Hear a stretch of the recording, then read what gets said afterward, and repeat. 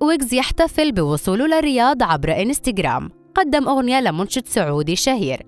أعلن استعداده لتقديم حفل غنائي ضمن فعاليات موسم الرياض.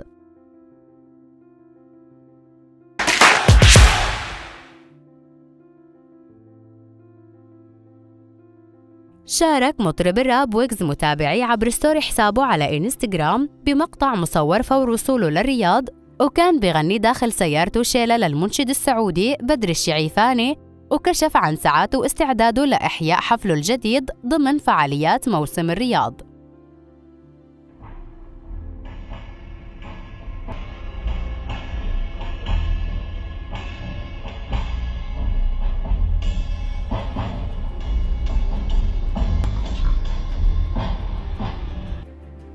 حفل ويجز في موسم الرياض رح يجمعه بنجمي الراب مروان بابلو وعفروتو وكان تم طرح تذاكر الحفل يوم 7 من مارس وتم بيعها بعد دقائق من عرضها للبيع.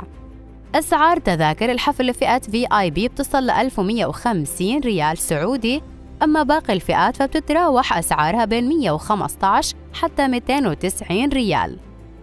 اتردد مؤخرا وجود علاقة عاطفية بين ويجز وهدى المفتي بسبب استخدامهم نفس الرمز التعبيري لحالتهم على انستغرام.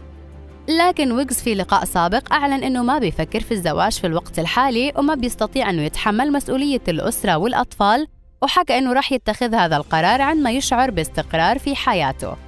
أحمد علي هو الاسم الحقيقي لمطرب الراب ويجز ولد في حي الورديان بالإسكندرية وعاش طفولة قاسية أثرت على شخصيته بشكل كبير.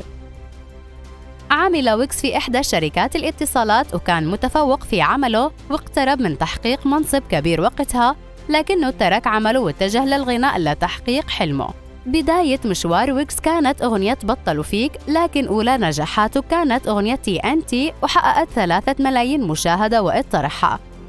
أغنية دورك جاي هي سبب شهرته في الوطن العربي بأكمله فحققت هذه الأغنية 24 مليون مشاهدة خلال شهرين فقط وواجهت وقت عرضها هجوم كبير بسبب اللون الغنائي الجديد اللي قدمه.